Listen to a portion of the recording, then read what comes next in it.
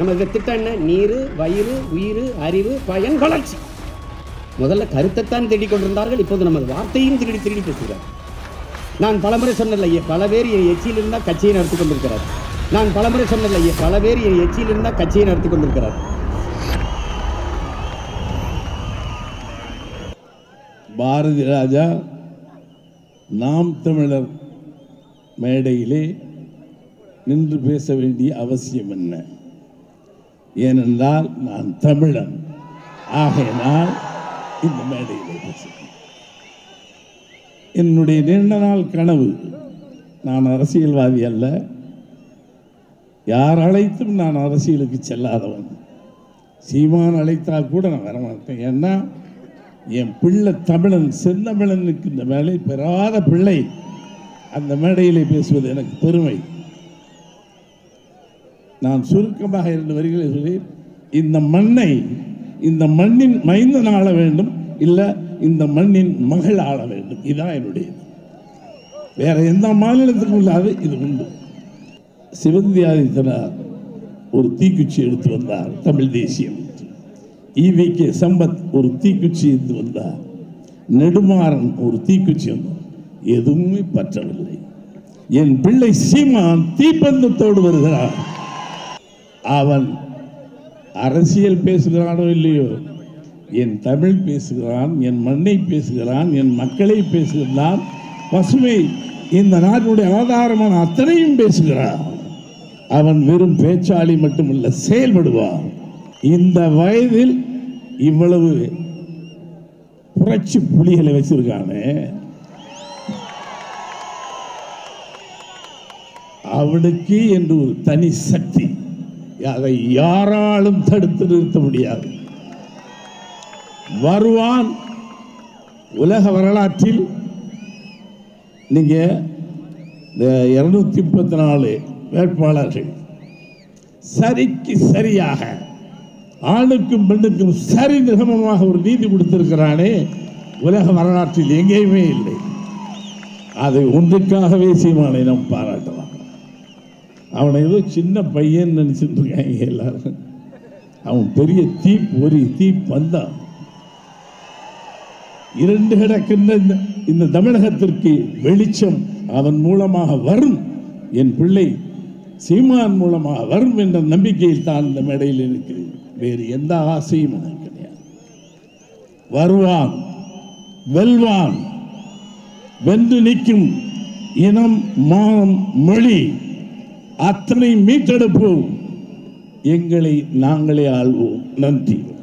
என் அன்பான மக்கள் எங்களை ஆழ்ந்து கவனிக்க வேண்டும் கூர்ந்து கவனிக்க வேண்டும். நாங்கள் உலக புதுமைக்கான அரசியலை எடுத்து வைக்கிறோம். எளிய பிள்ளைகள் கனவு பெரிது. கனவு பெரிது. உன்னால் சுமக்க முடியாத பெருங்கனவை சுமந்து நில். அதுவே உலகத்தில் ஆக பெரிதென்கிறான் ஆல்பர்ட் ஐன்ஸ்டீன். முழுக்க முழுக்க மக்களுக்கான சேவைதான் என்கிறார் பெருந்தலைவர் காமராஜர். அரசியல் என்பது அனைத்து உயிர்களுக்குமான தேவையும் அதை நிறைவு செய்யும் சேவையும் தான் என்ற கோட்பாட்டோடு இந்த களத்தில் நிற்கிறோம். உலக பொதுமைக்கான அரசியல். அரசியல் என்பது மக்களுக்கு சேவை செய்கிற ஒரு புனிதமான அமைப்பு என்பதை தாண்டி அதிக லாபம் குளிக்கிற கொளிக்கிற அதிக லாபம் ஈட்டுகிற ஒரு தொழிலாக மாற்றி நிறுத்தப்பட்டிருக்கிறது. கூட்டணி நிறுவனங்களைப் போல கார்ப்பரேட் கம்பெனிகளைப் போல மாற்றி நிறுத்தப்பட்டிருக்கிறது. சில குடும்பங்களின் சொந்த சொத்தாக மாற்றப்பட்டிருக்கிறது. இதுவரை இந்த நிலத்தில் இருந்த அரசியலிலிருந்து நேர் எதிர் திசையில் நாம் தமிழர் கட்சி பயணிக்கிறது.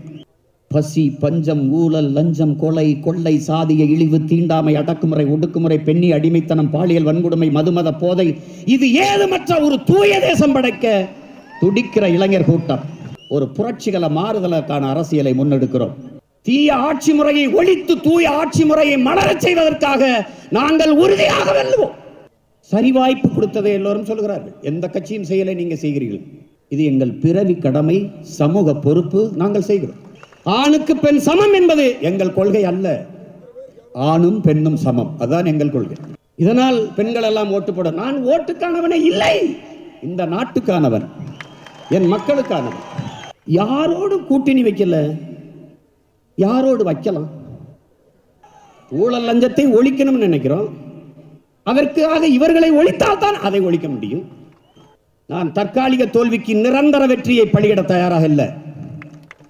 வரலாறு நமக்கு வழிகாட்டுகிறது சத்தியம் நமக்கு சாட்சியாக இருக்கிறது. நாம் தொடர்ந்து போராடுவோம். இன்னும் நல்ல தமிழ் தாய்க்கும் தமிழ் தகப்பனுக்கும் பிறந்த பிள்ளைகள் மான தமிழச்சி மாறிலே பால் குடித்த பிள்ளைகள் இன்னும் கோடிக்கணக்காக பல வாடுகளில் வாழ்ந்து கொண்டிருக்கிறார்கள். பணமழை பொழிந்தது கூட்டணிகள் குவிந்தது ஆயினும் பதினேழு லட்சம் பேர் பாராளுமன்ற தேர்தலில் இந்த எளிய பிள்ளைகளுக்கு வாக்கு செலுத்தியிருக்கிறார்கள் ஐந்து ஆண்டுகள் இந்த நிலம் நமக்கு வந்தால் உலகம் நம்மை திரும்பி பார்க்கும். இந்திய நாடு எல்லா மாநிலங்களும் இப்படி ஒரு ஆட்சியை ஏன் நாம் செய்ய செய்யாது விட்டோம் என்று இயங்குவார்கள் வேளாண்மை செய்வது அரசு பணியா? ஐயோ!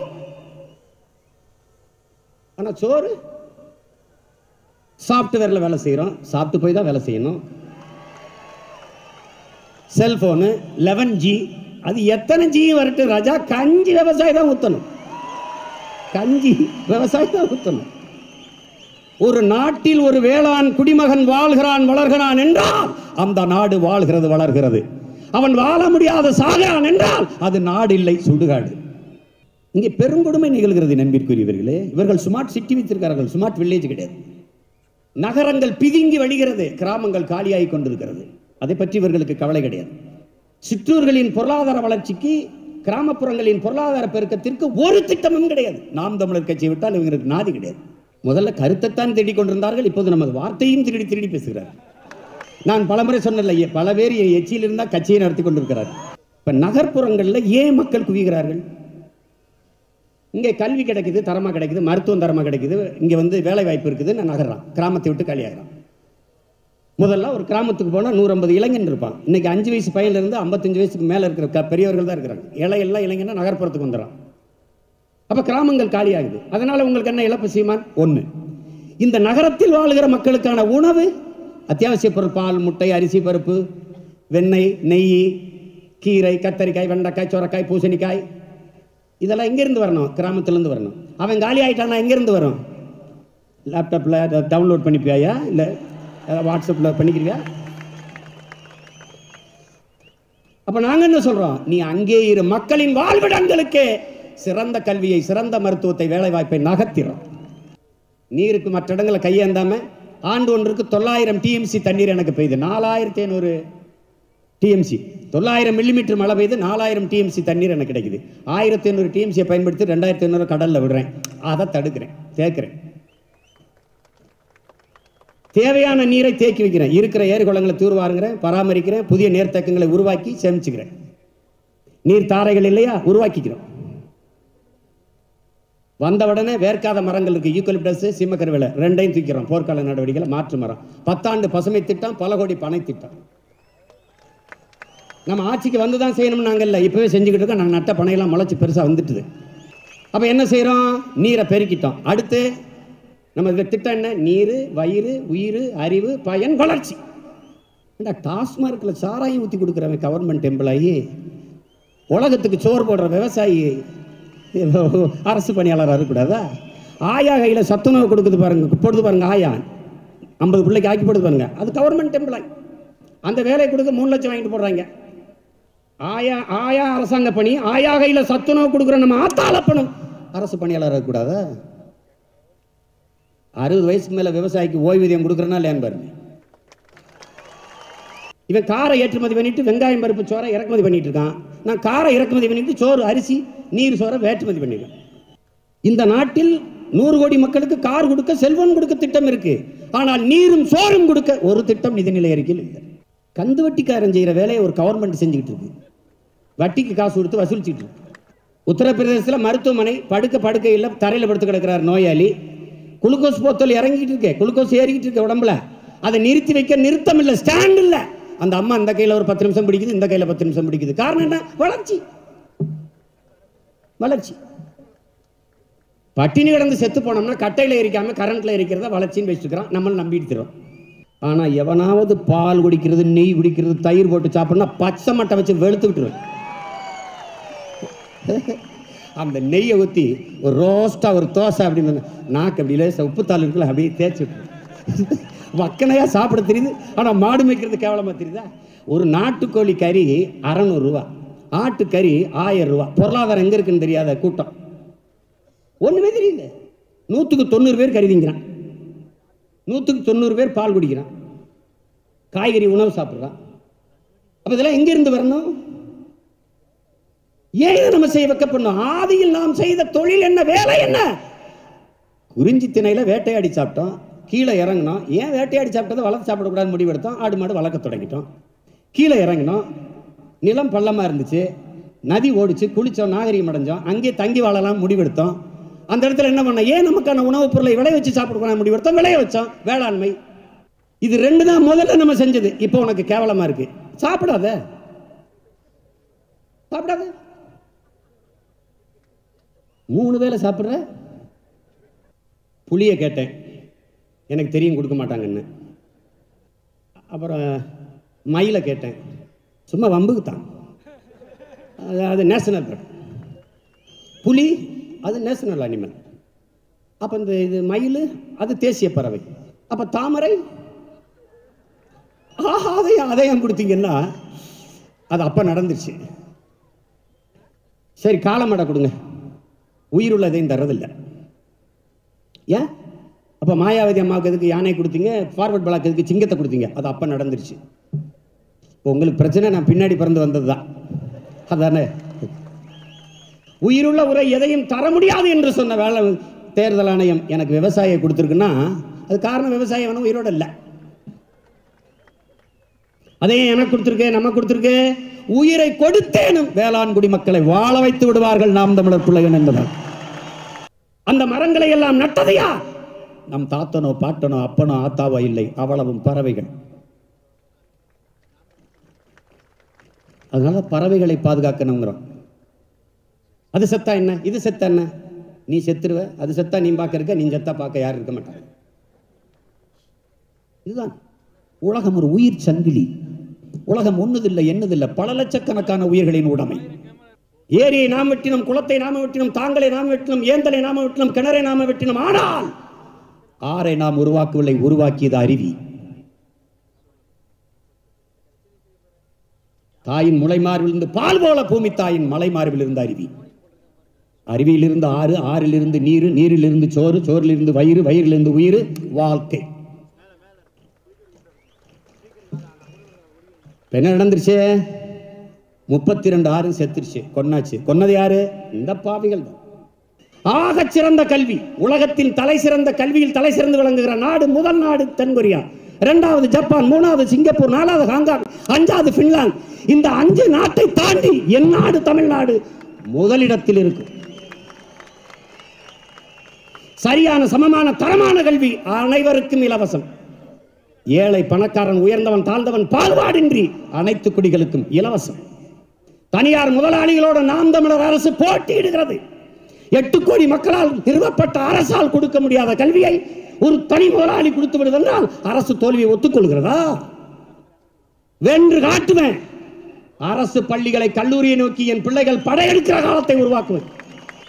சட்டம் அமைச்சர் பிள்ளைகள் அதிகாரிகளின் பிள்ளைகள் சட்டமன்ற பாராளுமன்ற உறுப்பினர்களின் பிள்ளைகள் எவராக இருந்தாலும் அரசு பள்ளி அரசு கல்லூரியில் படிக்கணும். தானாக தரம் ஏறும். மருத்துவம் உயிர்காக்கும் மருத்துவம் இலவசம். ஒரு ரூபாயில ஒரு கோடி மருத்துவமானாலும் என் தாய் தந்திருக்கு என் உறவுகளுக்கு இலவசம். ஆகச் சிறந்த மருத்துவம். பிரிட்டன் சிங்கப்பூரில் நட்சத்திர விடுதிகள் போல மருத்துவமனைகள் இருக்கு. இங்கே பிணை எரிக்கிற கொட்டகை போல இருக்கு. மாத்தி காட்டணும்.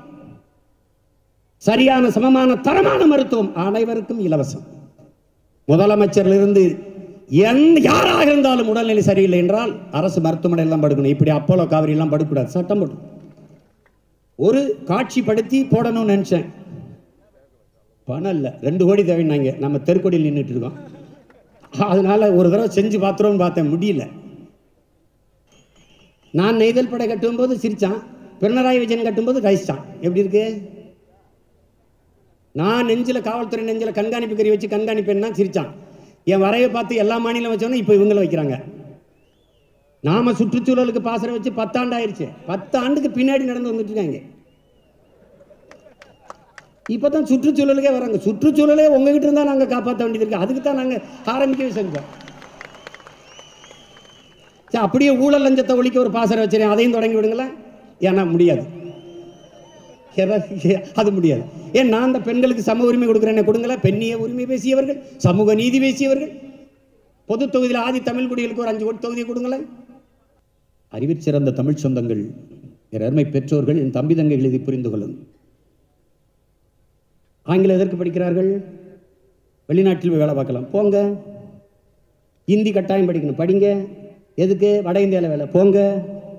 அப்பா இந்தியை படிச்சுட்டு இங்கே எதுக்கு வரேன்? வேலை இல்லை. அப்புறம் இதுக்கு நீ இந்தியை விழுந்து விழுந்து படிச்சுட்டு இருக்க? அது அறிவார்ந்தவர்கள் பேசுகிறார் அவன்கிட்ட சோன் பப்படி பானிபூரி எதுக்கு வாங்க. எதுக்கு அவன்கிட்ட போய் பானிபூரி வாங்கணும்? ஏன்டா ஏ நான் அந்த ஊரில் பிழைக்க ஹிந்தி படிச்சுட்டு வரணுங்கிற ஏன் ஊரில் பிழைக்க தமிழ் படிச்சுட்டு வர மாட்டாரா அவரு? வரமாட்டாரா? என்ன நியாயமாரே? என்ன நீதி நியாயம்?